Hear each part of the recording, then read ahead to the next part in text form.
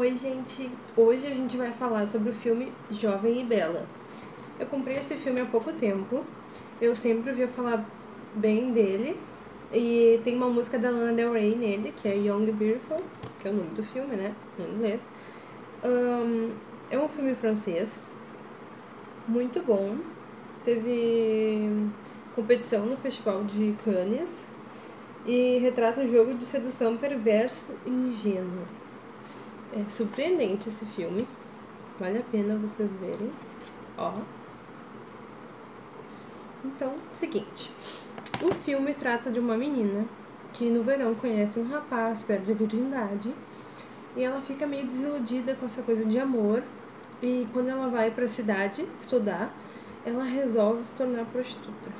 Porque ela viu que era um trabalho fácil no, no pensamento dela e que ela poderia ganhar dinheiro com isso porque ela queria se mudar, queria fazer alguma coisa longe dos pais.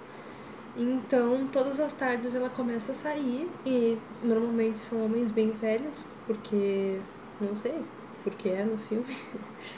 E ela sai com homens bem velhos, só que um deles chama a atenção dela, que é o é um que trata ela bem, trata ela melhor do que os outros. Então eles acabam tendo uma relação um pouco mais emocional do que só cliente, né? E os dois são beneficiados no caso. Só que acaba acontecendo uma coisa, spoiler, uh, o velho acaba morrendo e ela, como é que eu posso dizer, acaba, o mundo dela cai porque vem nas câmeras que ela estava no momento que ele morreu, porque eles estavam tendo relações e o cara morreu porque tomou muito Viagra. E a polícia vem atrás dela, conta pros pais, e daí todo mundo fica sabendo, o irmão dela, toda a família dela, ela morre de vergonha por isso. Porém, no final do filme, eu acreditei que tudo ia mudar. Ela até começou a namorar com um rapazinho da idade dela, mas no final ela acaba com o guri e ativa o chip já no celular para começar a fazer programa. Só que, no entanto, ela.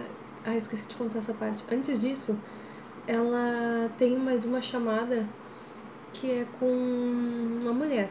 E ela acha muito intrigante o que uma mulher quer com ela. Ela pensou que era um programa com mulher. E no final era a esposa do velho que morreu.